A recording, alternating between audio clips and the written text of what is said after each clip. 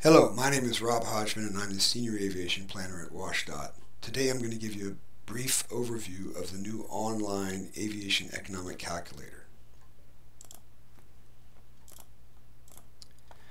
First, a little bit of background. The current aviation economic impact study was completed in July of 2020. The previous study was completed in 2012, so there's about an eight-year span there, and we can anticipate somewhere between five and seven years before the next study is released. In this 2020 study, we developed a couple of innovative products, one of them being this new and improved online economic calculator, and the other a new aviation economic GIS mapping tool, and a demonstration of that will be available in a separate video. The data in the calculator was compiled from the economic study from the surveys of airport sponsors, airport tenants, and the GA community. The data in the calculator is fixed, meaning that the baseline information that you'll see shortly will not change until the future aviation impact study is completed.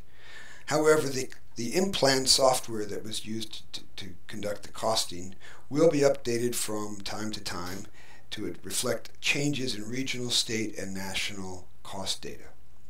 And finally, capital projects data is a three-year average, and the reason being that in some years, GA airports have very high capital expenditures, and in other years, low. And so, by having a three-year average, we, we uh, wanted to try and get at a better planning tool. Little calculator overview. The primary purpose of the calculator is to run what-if scenarios. What if we started providing commercial service? What if we built new T hangars? What if we provided an aviation refueling station? The calculator is a tool to help decision makers understand the capital investment and then the likely economic output from that capital investment or from that change in activity or operations at the airport. The calculator can be accessed from the WSDOT Aviation homepage, and we'll go there in just a minute. And on the landing page, there are a couple of links, one for the Aviation Economic Impact Study report, and the other for the Economic Calculator User's Guide. Okay, so here we are at the WSDOT homepage, www.wsdot.wa.gov, and down here under Modes is Aviation. And here we are at the Aviation homepage, and scroll down to Plans and Studies. Here is the Aviation Economic Impact Calculator. Okay, here we are at the landing page. This is the link for the report. So this will take you to a web page that you will be able to connect with our communicator, get a copy of that report, and then this is the link for the user's guide. Let's go ahead and click on that and open that.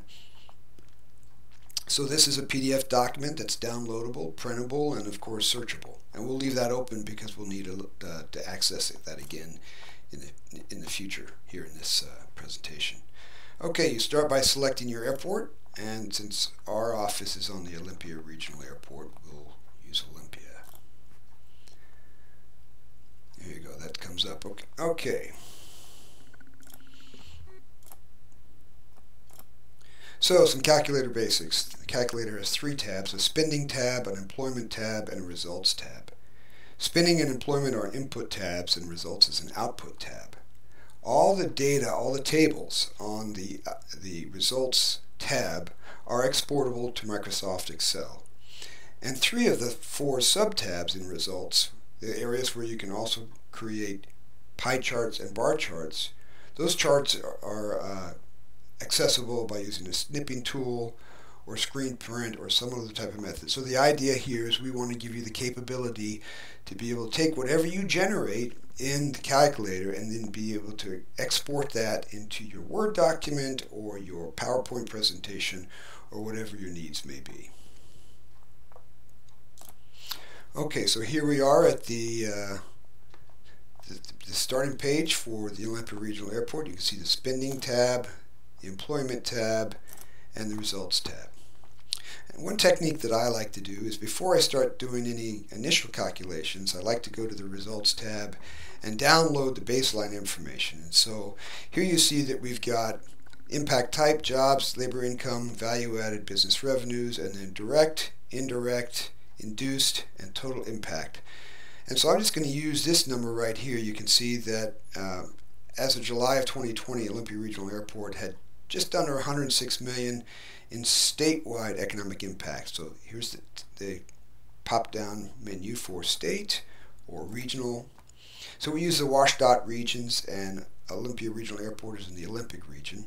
So for the this study, Olympia contributed 87, almost 88 million dollars to the Olympic region economy. Go back to state.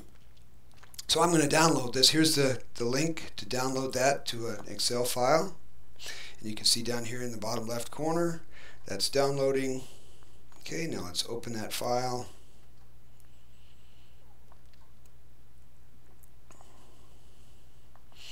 All right, and you, here we can see again 105, almost 106 million in total economic impact. And I'm also going to jump over to the visitor spending tab. So we've got for various different NAICS categories, NAIC as you see there, uh, agriculture, utilities, construction, manufacturing, 000007131. All right, so let's grab that as well There it is downloading here in the bottom left. We'll open that file.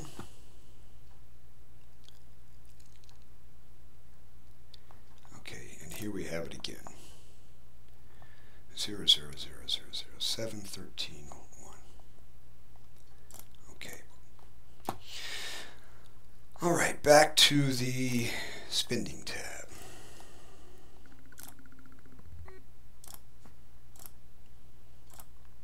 Okay, the spending tab has four sections. Airport financial information, commercial passenger service activity, general aviation activity, and visitor spending. So, some of the things that you can do. Here's the airport capital budget, and let's say that we were going to spend uh, additional capital investment this year. So you can see here that the grade, the baseline areas are, or numbers are grayed out, and I'll input just a made-up number here that we're going to spend half a million dollars this year on on capital investment. You see that the red save button changed to orange, so I can save that. And now if we uh, were to go over to uh, the results tab and look under uh, temporary construction jobs, you would see that uh, some changes. We didn't go and capture that, so um, but we could go there and we could see that uh, the results of that as far as jobs, and then of course also the results of that because of construction, you know, there's uh, there's economic impact into the community from those jobs and from the purchase of, of materials and from the the B&O tax, that type of thing. All right, we're going to reset this. But you could also make changes in your operational budget and in other on-airport expenses. Um, so currently, Olympia Regional Airport does not have commercial service, but let's say that they were to get commercial service. Um, let's put in annual enplanements of 500,000 and see that just changed from red to orange again. And let's say what, what is the percentage of visitor spending? We'll say that's 45%. And, um, you know, Washington State airports, uh, you know, the non-hub commercial service airports typically range somewhere between 25 and 45%. Since Olympia is a uh, the you know, state capital, it's likely they have a pretty high percentage of visitors. We'll go with the 45%. Um, you just have to use your, your best judgment here. The other thing we need to do in order to make sure that we get some accurate calculations is we need to address the visitor spending. So currently it's set up with the, in the detail mode so that I could input individual visitor spending uh, amounts in each one of these boxes. But for the purpose of this demonstration, I'm just going to click on total and I'm going to put in $500 per visitor per trip. Now save that. Okay, and now let's jump over to the Results tab and see what has changed.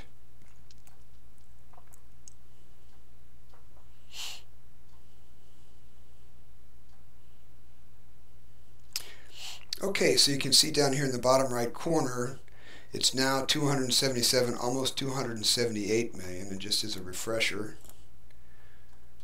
we had captured 105 million before we put in the commercial service. So that's only reflecting the commercial service as far as the economic impact. And then let's go over to visitor spending jobs. Now we have 5, 3, 9, 12, 14, 126. Before we had 0, 0, 0, 0, 0, 0, 7, 13, 1. So you can see, that, again, just from inputting the, um, the commercial passenger service, these are the things that have changed. All right, let's go on to the next segment, which is the Employment tab. So the Employment tab includes uh, a variety of different subcategories, and we'll take a closer look at that. Again, as a reminder, this is an Input tab. So this is a brief description of each one of the, uh, the types of job categories, on-site jobs, on-site transportation activities, on-site supporting services, freight activities, passenger terminal activities, other air services, and then miscellaneous activities. Okay, so let's jump over to the spending tab. I'm sorry, the employment tab. So here are all those activities, and we can expand all. So you can you can expand just one, or you can expand all. And you can see that there are a lot of different activities or jobs. Most of them are zeros right now at Olympia. You can go in and make some changes, but before you go in and make your changes, you really need to know, you know, well, what kind of jobs are these exactly? So you go over to the users uh, guide, and in section 3.1.8 starts out with the on-site transportation activities. So you can see here airline companies, airport terminal facilities, car rental, charter services, and it explains which what types of jobs are included in this category. And so you, now you have a reference for um, as you're doing your what if scenarios, which types of jobs need to put in which which place on the this, the employment tab. And again, this uh, once, once you make some changes, this will turn orange, and you'll have to save it, and you have to save it in order for you to get results. Okay, so in the Results tab, it's broken out into four sub-tabs. You can see here, Economic Impact Summary, On-Airport Jobs, Temporary Construction, and visitor spending.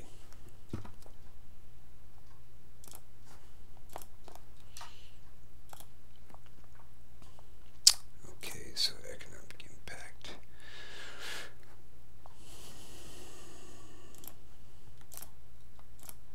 So in the results tab, you have a few different output options. You certainly have the table, which we've, we've already seen. You have uh, a pie chart and you have a bar, bar chart. And so let's go take a look at those real quick. Now, notice that for the economic impact summary data, there's only a table. But when you jump over to on-airport jobs, now this appears. I'm going to go back. See, that's not there. And now that appears. And that'll, that applies to all three of these tabs. And in this mode is the data, so it's, it's the table. But we can just as easily click on the pie chart and it'll give you the breakout. And then also, of course, the bar chart. And as I mentioned before, you know, you can grab these with a snipping tool or screen print or some other kind of software package and use these in your presentations. That's pretty much it. Um, this was a quick overview Please let me know if you have any questions or comments. This is my contact information. And I hope that you find this tool valuable. Thanks for watching.